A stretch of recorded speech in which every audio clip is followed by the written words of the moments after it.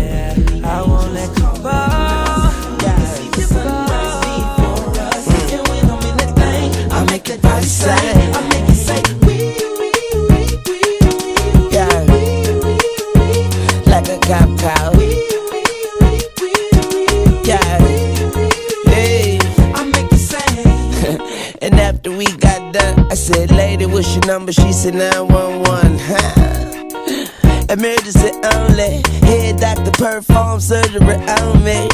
Yeah, and now I'm healed. I make her wear nothing but handcuffs and heels.